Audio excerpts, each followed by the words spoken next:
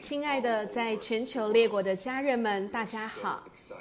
我们对于即将要来到全球的聚集感到非常的兴奋，就是预备安息之所。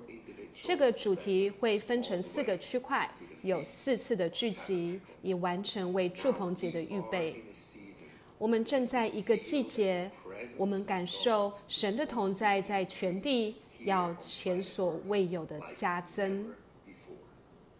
神从来没有从这个地球离开，神的同在一直都在，而他想要加增，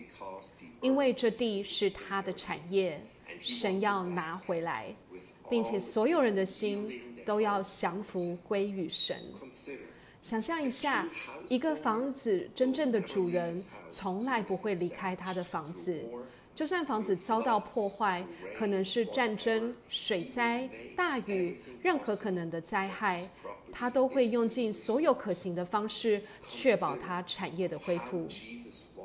想象一下，耶稣在地上的时候，政治局势是如何的紧张，而他是如何能够行在所有政治紧绷局势之上。甚至在他的门徒当中，有一条更高的道路，更高国度的路，更高的道路，成为盐和光，将爱带给一切需要的人。所以，请在这预备的季节加入我们，使我们可以欢迎我们的王。